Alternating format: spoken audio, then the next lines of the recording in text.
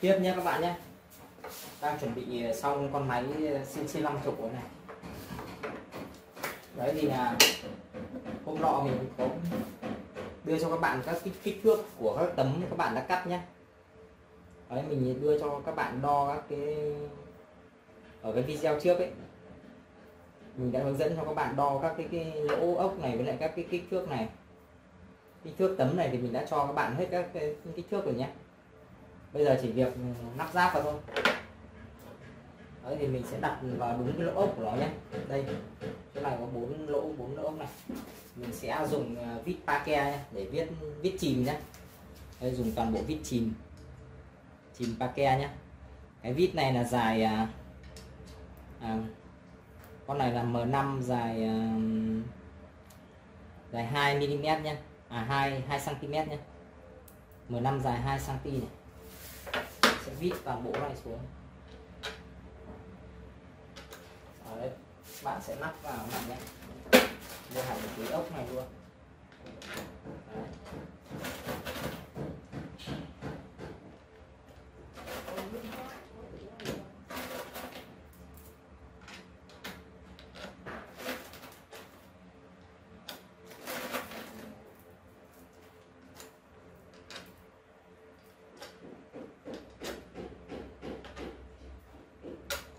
Bạn dùng ờ, khoan vít này cho nhanh luôn nhé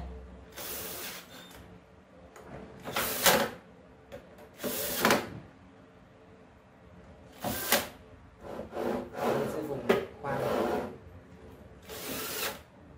dùng khoan lên cho nhanh này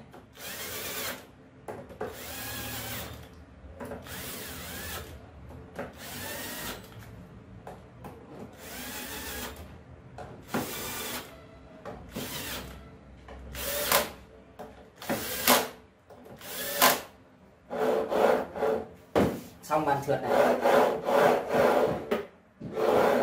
Của mỗi cái giữa là BKBF 12 cái gối gối nhôm ở giữa này nữa thôi nhé gối nhôm ở giữa này thì các bạn sẽ đo nhé đo ở đây này. Đấy, mình sẽ dùng thước cặp để mình đo nhé bạn đo cái gối từ cái gối này lên nhé Đấy, này thì sau khi các bạn hoàn thiện hết xong bắt đầu các bạn mới đo cái này nhé. Đây các bạn đo này. Đấy nó rơi vào tầm 15 rơi vào tầm 15 mm nhé. Thì các bạn sẽ cắt cho mình hai cái gối. Cắt cho mình hai cái miếng đệm nhé. Đây hai miếng đệm này. Hai miếng đệm này nó rơi vào tầm uh, khoảng 15 này. Chính xác 15 nhé 15 mm sẽ có hai tấm đệm 15 mm các bạn sẽ đệm vào dưới đây cho mình nhé nếu mà nó dày quá các bạn sẽ mài mài bớt nó đi. Mình sẽ mài bớt nó đi để cho nó vừa vừa với cái trong này nhé Đấy, dùng máy mài mài mài bớt cái này đi này. rồi cái này tí mình sẽ nắp lên cái này xong cả hai cái này mình mài hai cái này mình thể luôn mài cả trên này luôn này.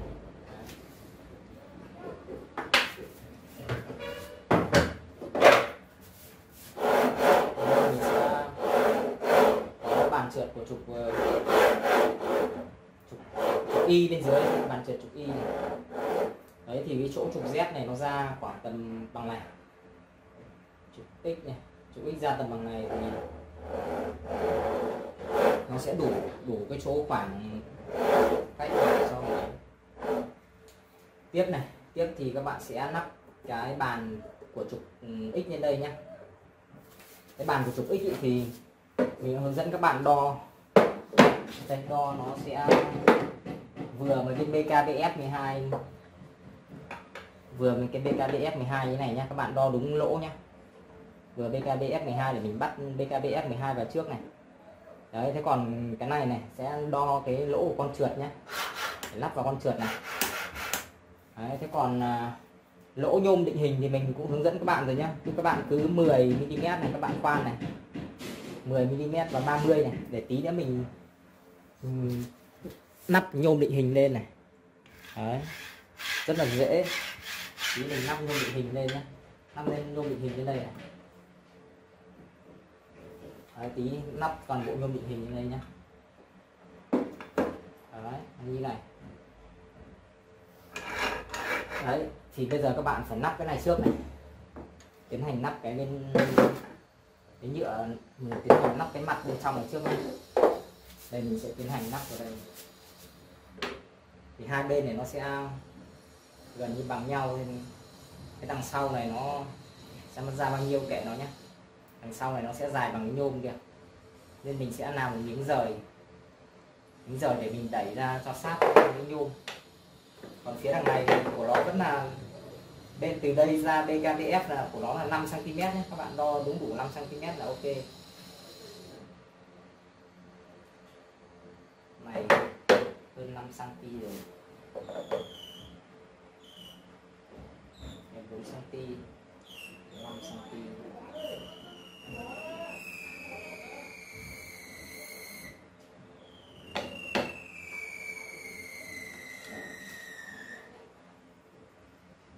thế mình sẽ lắp cái phía cái chỉnh cái chỉnh đầu cái KVS mình sẽ lắp đằng này. Cái đằng này. Bốn ờ, bốn phẩy năm.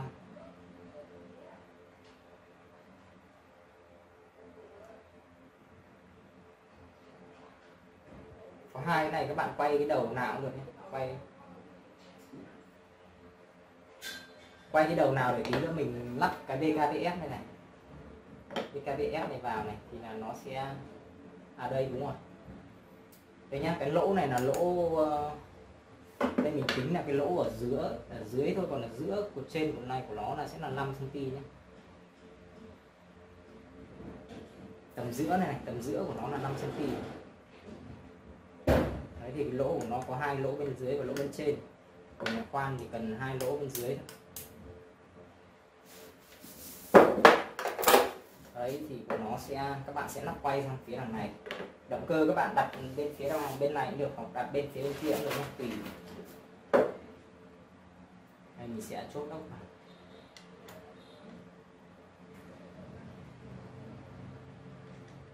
Các bạn cần phải bắt bắt giữ được một hai con nhé thì bắt giữ, giữ hai con ốc trước này. Giữ hai con ốc và đúng lỗ trước nhé Đấy. con này.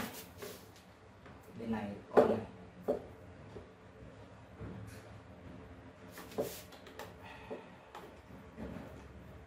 đấy nhá, giữ hai con trước này Đấy. giữ luôn hai con trên luôn này. Giữ luôn nhé luôn hai con trên này. đấy, thì là kéo này lên này đấy. tiếp tục bắt này Đấy,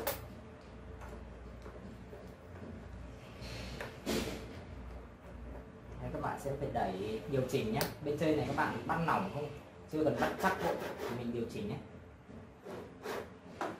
Đấy, tí nữa mình phải đo một cái gối đây này. Gối đây. Rơi vào tầm 10 14 mm tí mình phải mài bớt đi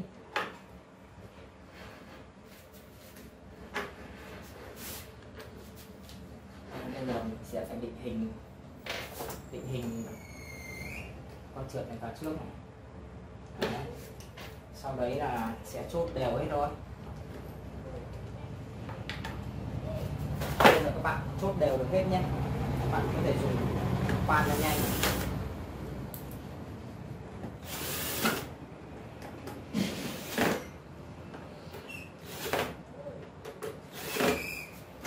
sau khi chốt chốt lên đều rồi thì bắt đầu khoan luôn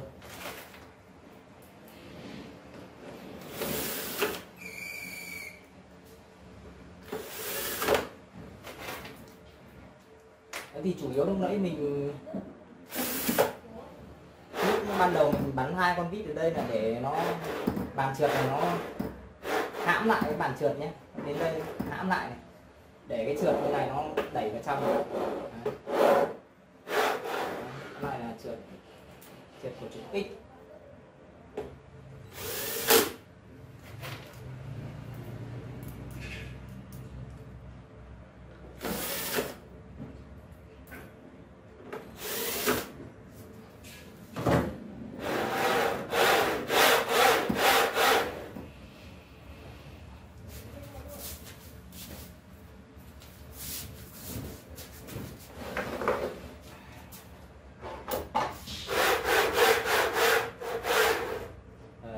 nối lại tí lắp sau nhé. Nối tí nữa các bạn sẽ phải ờ, cắt hai miếng đệm cho mình nhé. Cắt hai miếng đệm này. Đệm vào đây nó vào, vào rơi vào khoảng tầm 15 mm nhé. 15 mm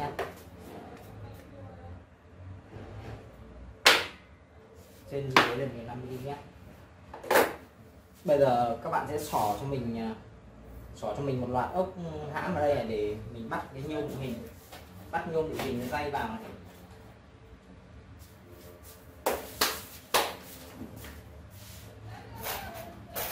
đây nhé các bạn sẽ dùng toàn bộ toàn bộ ốc uh, ốc 5 dài 2 dài 25 nhé ốc 5 dài 25 bạn xỏ đây thì xỏ đây nhé 5 dài 25 xỏ toàn bộ vào đây xỏ cái lỗ khoan mà các bạn để bắt cái nhôm định hình ấy.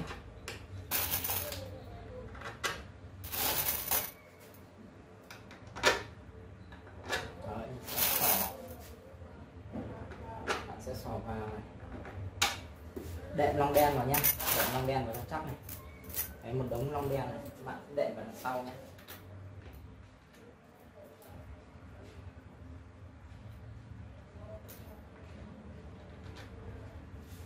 đen vào thì các bạn vặn nó sẽ rất là chắc chắn.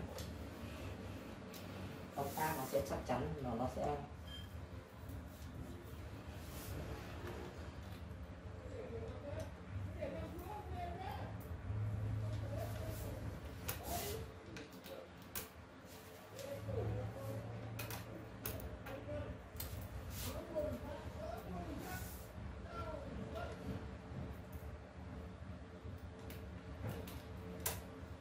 các bạn dùng ecu nhé. Dùng ecu các bạn xoáy vào cho mình.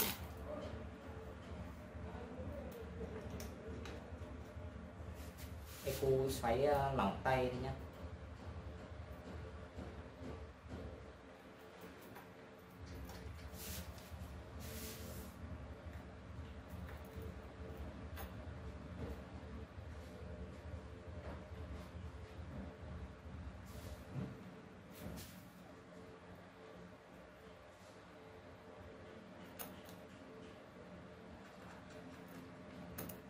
Thì các cái tấm này nha các bạn có thể ừ, cắt bằng nhôm cũng được nhé các bạn cắt bằng nhôm cũng được, không cần nhất thiết các bạn phải làm bằng nhựa đâu. Bạn cắt bằng nhôm cho nó khỏe. Này, toàn bộ cắt bằng nhôm đều được nhé đây là mình hướng dẫn cách làm luôn còn bạn thích làm bởi vì nó chuẩn thì nào nhé đấy, mình hướng dẫn cho các bạn cách làm là chủ yếu. Bạn nào à, có điều kiện thì các bạn cứ làm à, tôi cắt à, các tấm này, các bạn cắt hết thành nhôm tấm hết nhé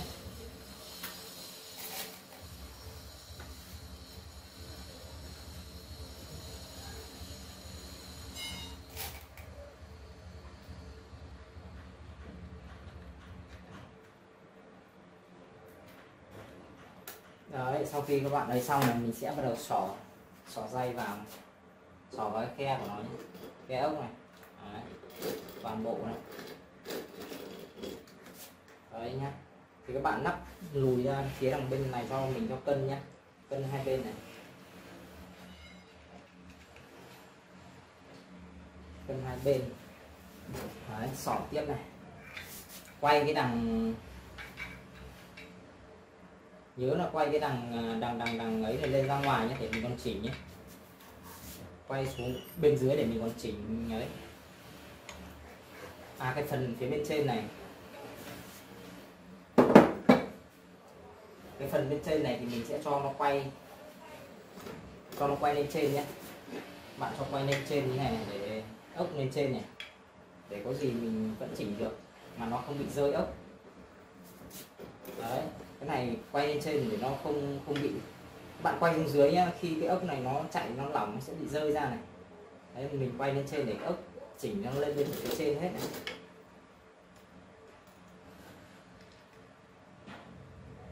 đấy, lưu ý này, quay ốc lên phía trên nhé quay ốc ừ, chỉnh nhé. lên phía trên bên này thế, bên này sẽ quay ốc chỉnh lên phía trên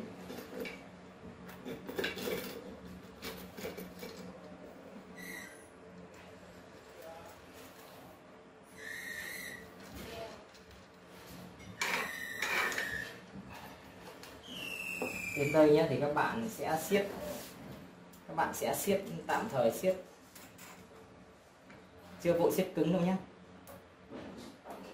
tạm thời các bạn vặn này đã. Sau đấy các bạn dùng thước vuông đo cho mình nhé nó phải vuông góc đấy nhá. Dùng thước vuông.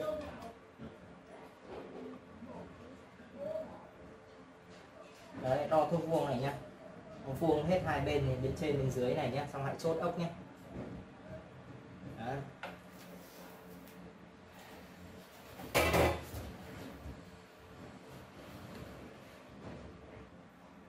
vừa vuông này vừa các bạn vừa phải đo luôn cả chiều ờ, đo luôn cả chiều ngoài nhé, là nó về đấy, chiều chiều bên này nó chỉ là 15 thôi nhé. Đây này. Nó phải bằng đúng 15 nhé. Nếu nó chưa bằng 15 các bạn phải chỉnh. Chỉnh cho nó bằng 15 đấy 15 nhé. Đấy 15 sau đấy các bạn mới đo vuông này, đo vuông này thước vuông này. Để cho hai cái bên nó phải bằng nhau ấy. Cái trên với cái dưới nó bằng nhau ấy. Đây này. Để các bạn nom nhé trên này này, bằng hết này. Ra đến đây góc vuông nhé bằng hết này. đấy.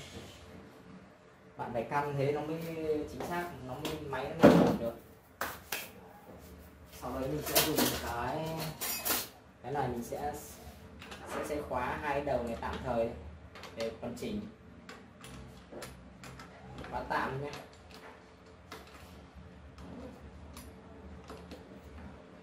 thế thì mấy con ốc ở giữa này các bạn bắt à, nếu mà nó khó vặn thì các bạn có thể đẩy lên phía trên này nhé đẩy lên phía trên này, này để mình thò thò cái ấy này vào để mình vặn này đấy đấy, bởi vì tại sao cái tấm ở bên đằng sau này mình ở giữa này mình không làm nó kín hết? Là vì lý do là các bạn còn phải có chỗ để các bạn vặn cái này này nhá. Đấy, nên lên kết cấu là mình đã lên kết cấu. Cái này là đã tính toán hết rồi. Nên kết cấu, tính toán là ví dụ như là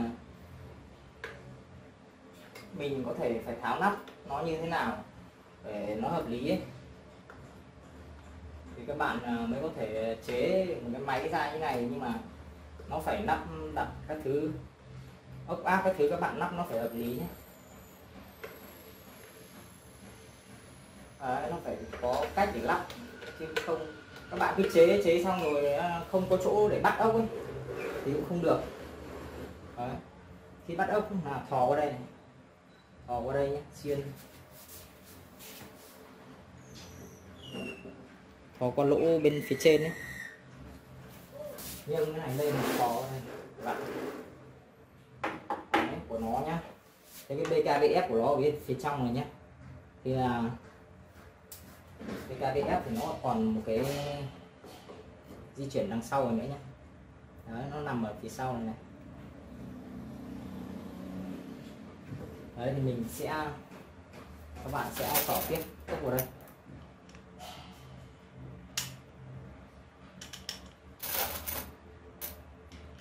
Upgrade ốc đây rồi mình gắn lên thôi.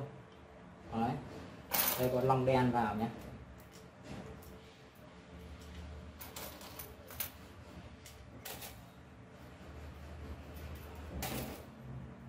Bắt EQ vào.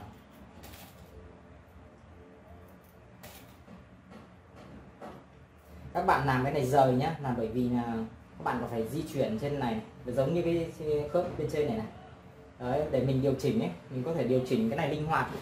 Ví dụ như động cơ của các bạn đấy từ chỗ động cơ mà đến cái trục, kết nối vào cái trục này này. Đấy, nó ngắn hoặc nó dài. Đấy, thì mình có thể kéo ra, kéo vào, kéo ra, kéo vào để mình điều chỉnh ấy. Tất cả những cái khớp nối với cái ổ bi vít me này các bạn đều phải làm điều chỉnh được nhé. Còn các bạn làm cứng làm cứng đến lúc các bạn không chỉnh đâu.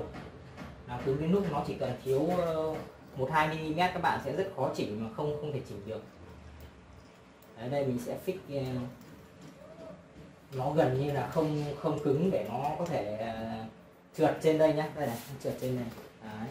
trượt ra trượt vào được này Đấy, để mình còn điều chỉnh điều chỉnh cái khối này này Đấy. bây giờ nhá mình sẽ bắt khối này vào đây Đấy thì bắt cái gối này thì mình sẽ có riêng cái phần đấy là mình sẽ dùng ốc dài hơn nhé.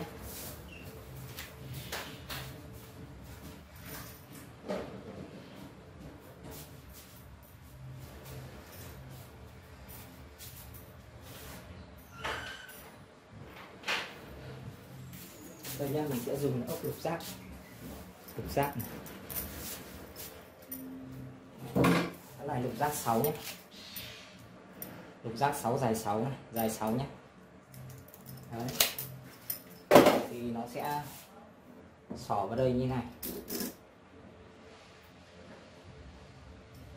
Đấy, những trường hợp nó mà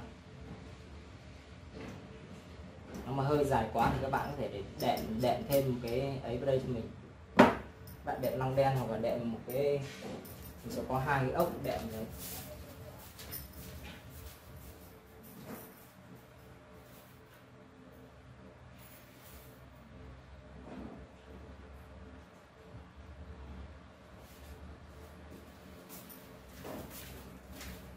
Đây, tiện nhá. Tiện mình dùng luôn. Bốn con ốc kê luôn này.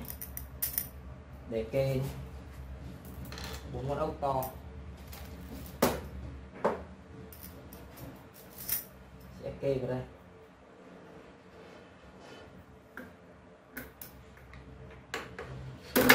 Đấy. kê ốc vào nhé vì cái ốc lục giác của mình nó hơi dài bạn dùng ốc 5 là vừa. Ốc 5 thì hiện tại bây giờ mình đang hết.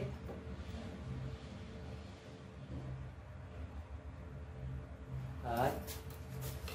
Để tạm thời mình kê vào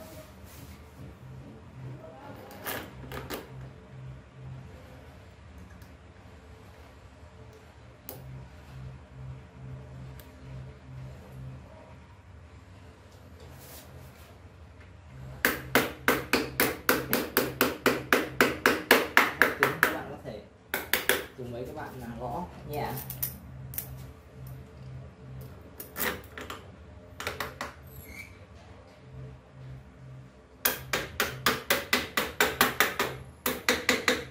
đấy. Sau đấy là mới chốt đằng sau này này. Chốt đằng sau thì cứ vặn nhẹ nhẹ thôi nhá. Đã nhá. Tí nữa mình chỉ cân hết cái này này. Bắt hết cái này và cân hết đi xong rồi bắt đầu mình mới mình mới siết chặt mình mới xếp tuyến sau. Cái chỗ này thì sẽ có một cái đệm, hai đệm, ba đệm nhé. Ba đệm tất cả.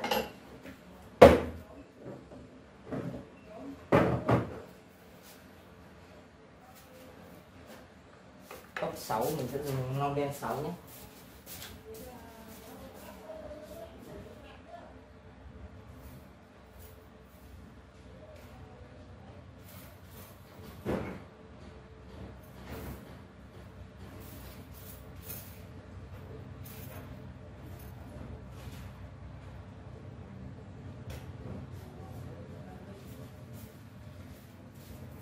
đây sẽ có bốn con ốc này và dùng bốn con long đen này Đấy, bạn bè bốn con đen vào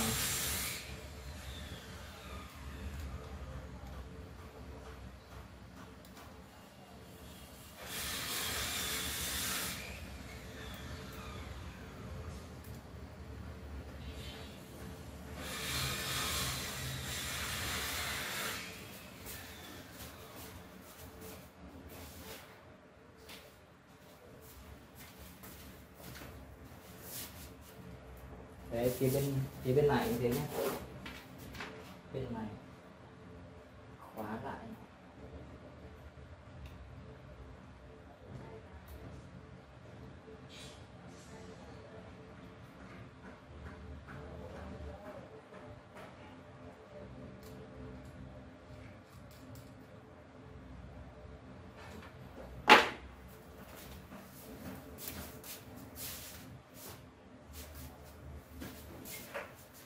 dùng lục giác nhé giác vặn này. Cần một cái, cần một tê đằng sau để giữ nhé tê đằng sau để giữ này. Trước phải phẳng Đấy.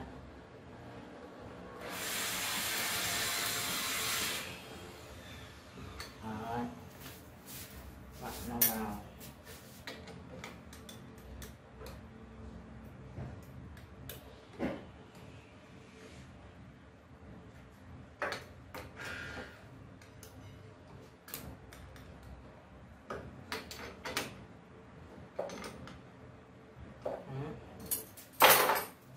vào này chắc luôn này. Đấy, cái này khá nặng. Đấy bây giờ thì bắt đầu nó khít hết. Khít hết nhé các bạn nhìn nó khít hết trên xuống dưới này khít hết này. Đo thước vuông nó vuông hết nhé. Đấy đo thước vuông nó vuông vuông hết nha đấy. Vuông hết như này thì là bắt đầu mình bắt đầu siết. Bắt đầu siết các lớp đằng sau á đẩy lên siết các ốc đằng sau này vào nhé. Siết chặt cái khóa cứng lại. Khóa cứng ở đằng sau này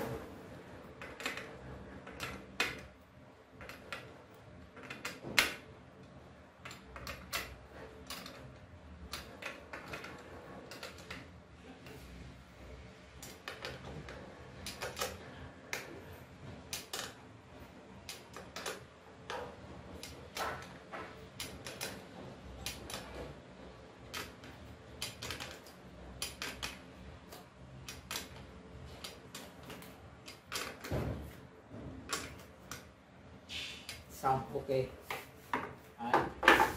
thì cái chỗ bàn, cái bàn của trục mũi x này mình lắp vào luôn này Đấy. bàn trục x mình lắp vào luôn nhé còn chỗ động cơ này tí lắp sau này, động cơ trên lắp sau trên dưới lắp sau này. bàn của nó thì hay thôi, từ từ đó, cái này tí nữa mình nó liên quan đến cái hộp số mà, tí nữa mình có khi mình phải chỗ lắp hộp số thì đây rồi. Đấy. hộp số bốn mẫu hộp số đây rồi nhé. nhưng mà để tí nữa mình xem kiểm tra cái hộp số lại. Xem là mình sẽ phải quay như thế nào. Đây. Sẽ phải lắp hộp số bên dưới trước nhé. đây thì mình sẽ hộp số bên dưới này. Thế thì phải lắp các cái gối này vào trước đã này. Cắt các cái gối này lắp vào trước nhé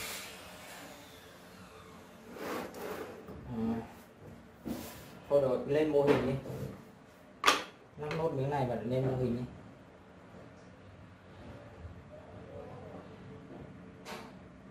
Đấy, đây là trục, x nhé. X này z này. Đấy. đây là y. Ok. Đây lắp nốt này vào. Lắp nốt cái này vào và tí nữa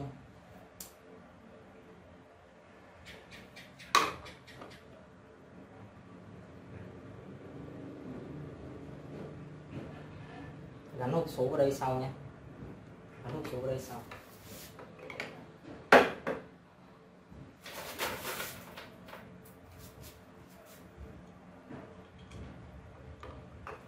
Tạm thời cứ phải lên hình đã.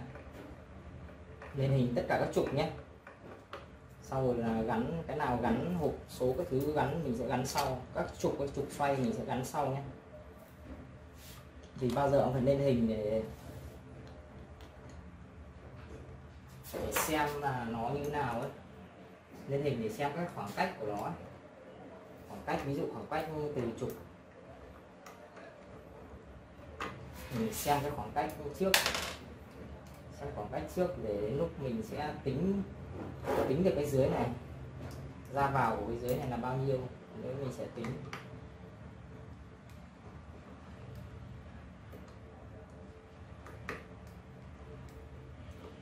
Đấy thì đây là trượt này. Trượt nhá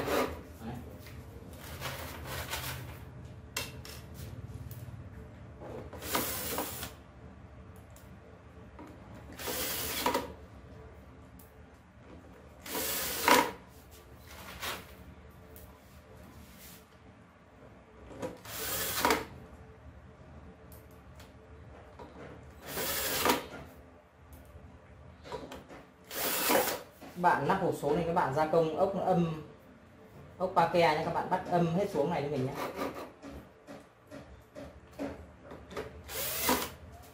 Phải âm xuống đấy âm xuống mà bàn này, âm đều, âm ờ, ốc phải âm hết nhé, tí nữa mình mới lắp được. Không có là nó vướng đầu ốc, không lắp được. không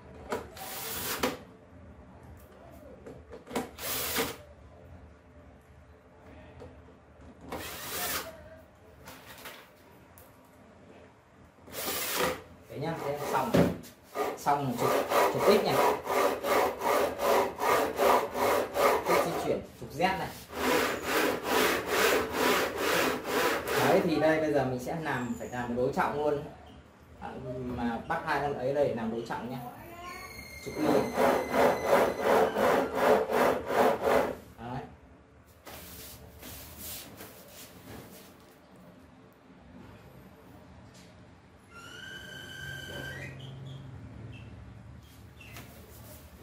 cái nắp ở đằng sau này.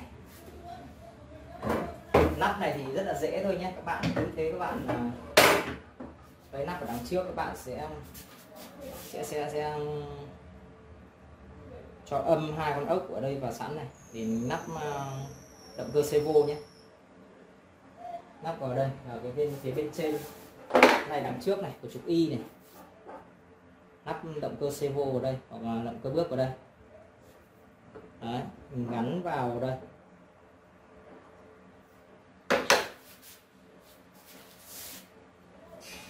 Gắn vào đây nhé.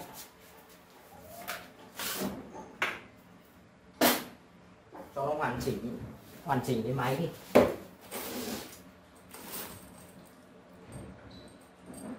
Bạn dùng ốc 6 dài 4 nhé. Ốc 6 dài 4 này. Này 4 con, kia 4 con là 8 con nhé. 8 con này đồng thời là đệm hết tất cả long đen vào cho mình. Đệm hết toàn bộ long đen vào. Cho nó sắc nếu các bạn làm nhôm thì các bạn không cần đệm cũng được. Đây mình làm nhựa, mình phải đệm.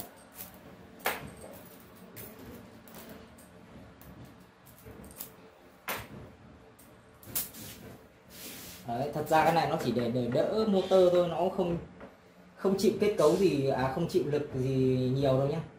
Thật ra cái này cái này là dày 15 mm này. thoải mái cứng chắc để mà đỡ motor ở đây. Đấy, đỡ động động cơ motor ở đằng trước này nhé các bạn.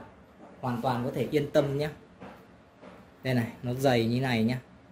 Dày 15 mm nhá nó đỡ motor thoải mái luôn các bạn cứ yên tâm luôn. Đấy còn cái kết cấu chủ yếu kết cấu của máy nha nó gồm cái hệ thống bên trong này này.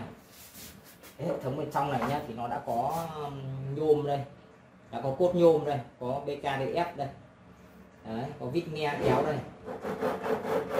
Đấy, nên là kết cấu nó cực kỳ chắc chắn. Đấy, các bạn yên tâm là kết cấu cực kỳ chắc chắn nhé trượt liền đế mạ chrome này. Dẫm đạp thoải mái nhá không bị cong này trượt miền đế mạ chrome loại dày dẫm đạp thoải mái không có cong. Đấy, bình thường chạy cái tượng gỗ thì cái tượng gỗ thì nó đáng bao nhiêu đâu. Cái gỗ nó bình thường. Mà đấy, máy mini làm cái này quá là chắc chắn nhé các bạn này máy mini các bạn mà làm được cái này là quá chắc chắn rồi. Đấy trượt này toàn trượt. Dày như thế này. Thành dày như này đúng không? Cực kỳ chắc chắn luôn. như à, cả một khung như này mà lặng khá lặng đấy. Con này rơi vào tầm hơn 50 cân không đùa đâu không đùa đâu. Đấy. Rồi mình sẽ bắt cái đằng vạch. Cái bạn vạch đây thì bạn sẽ bắt vào phía bên trong nhé nó đẹp nhé. Ngoài mình để cho nó nhìn cho thẩm mỹ.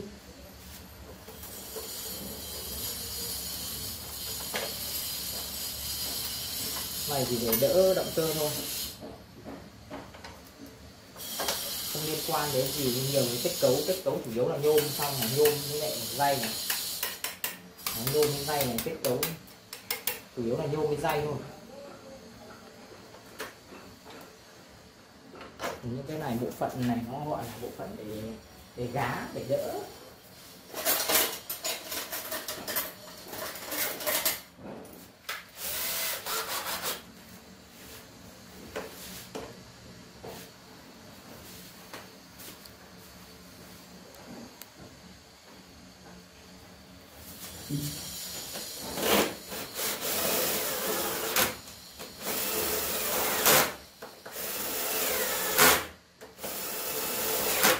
cực kỳ chắc chắn này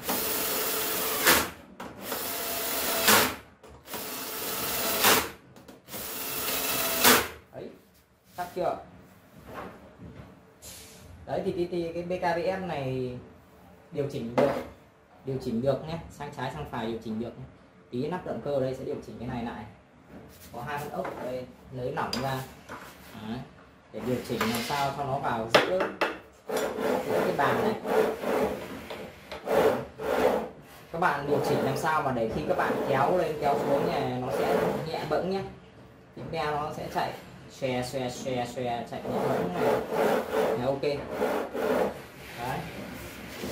Là là một bên nhá một bên của trục thì riêng cái bên của trục ờ, ấy này thì tại vì nó vướng vào cái nhôm này này. Nó vướng vào nhôm định hình này nhá.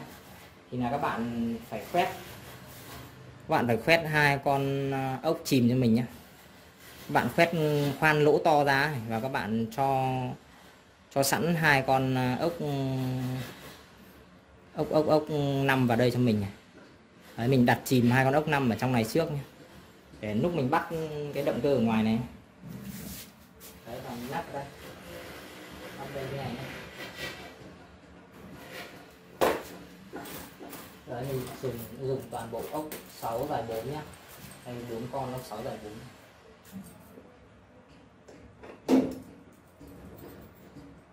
đoạn này gen cực kỳ sâu.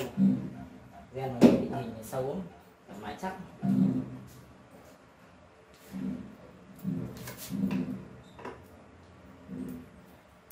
Gen nhôm định hình rất là sâu.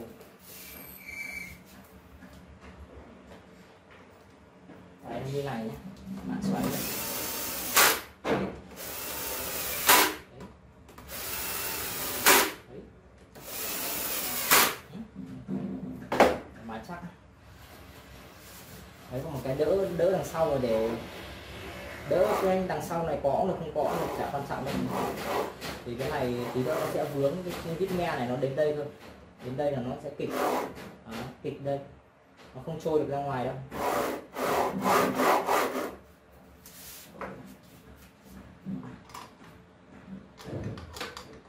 bạn cái đằng sau này vào này nãy là mình mới bạn hờ hờ thôi bây giờ bạn chắc vào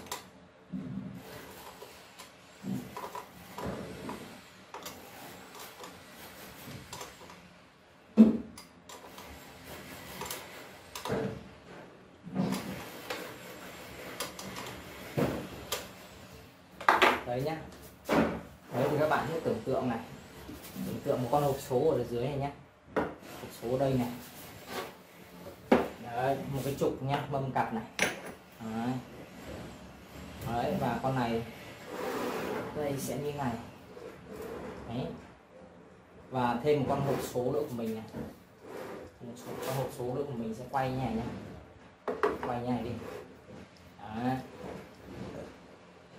quay như này nhá và sẽ có, đây. Tiếp đến mình sẽ phải gia gia công cái spinner nhé, gá spinner này.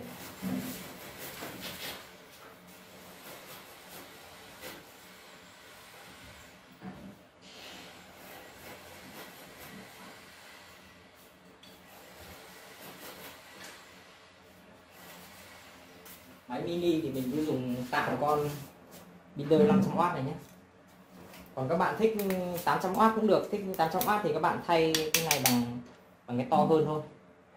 Máy này nó tải thoải mái 800W hay 1,5 kW tải thoải mái nhé.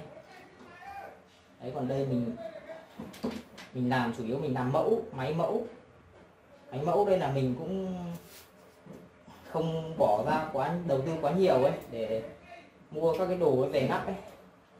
Đó, khi nào khách khách người ta cần đặt hàng loại 800W thì hoặc là 1,5 kW nhá thì mình sẽ làm cái loại đấy. Đấy thì đây nhá nó hình dạng nó như này này. Bạn ướm vào nhé đây. Hộp số đây nhá hộp số quay này. Đấy. hộp số quay đây nhá trục quay này. Đấy của cái này của trục trục AB hay là trục BC thì cũng thế thôi. Đấy. Nó như này này thì là cái này nhé sợi pin này, nắp sát, nắp nắp nó, các bạn nắp làm sao cho nó bóc cái tem này đi. Bạn đẩy sát vào nhé sợi pin đơn này, đẩy đẩy xa nó ra này. Đấy. để làm sao nó quay nó quay phía trong này nhá. Tức là mình à, đang, ý mình đang muốn là cái hộp số này nắp như này. Thì cái này nó sẽ quay như này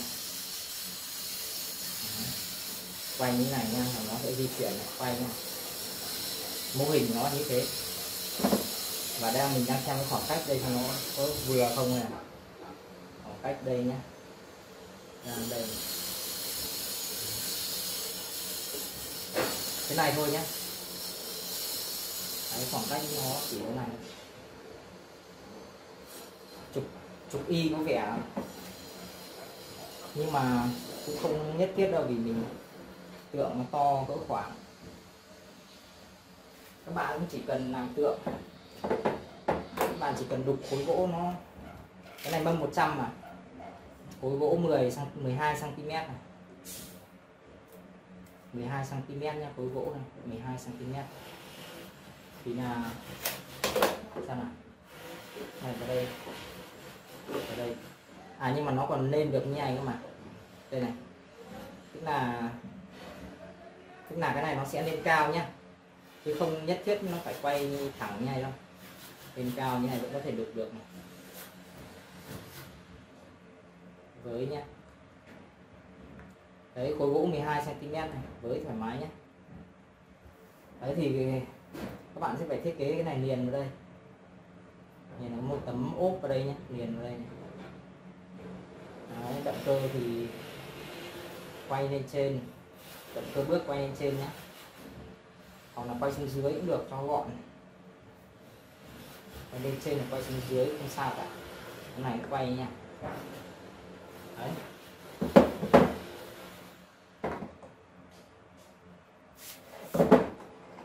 Tấm đệm đây còn một tấm của nó còn một tấm đệm ở trên lóc nữa tám này. Tám con tất cả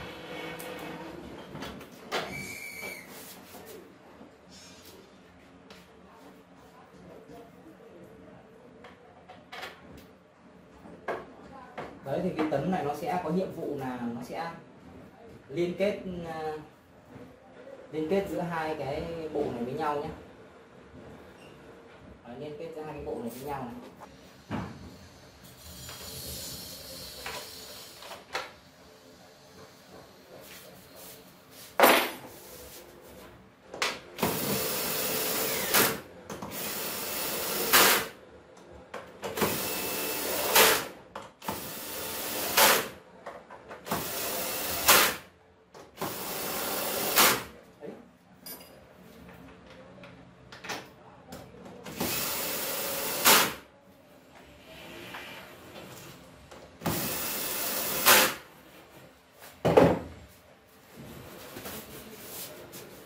Đấy nhá mình quay cho các bạn xem này. Đấy.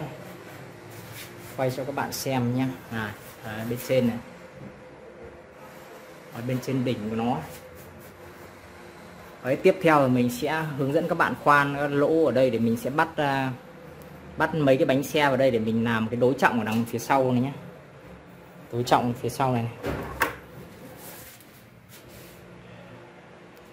Đấy, một con máy con máy 50 đã chuẩn bị lên hình lên hình ngon lành hết này. Đấy. chục y nhá. Đấy, chục chục x này. Z này. Đó, z lên cao này nhá. Xuống này. Đó. lắp cái đôi trọng vào đây chú trọng vào đằng sau này để cho nó kéo lên cho mình dễ lắp.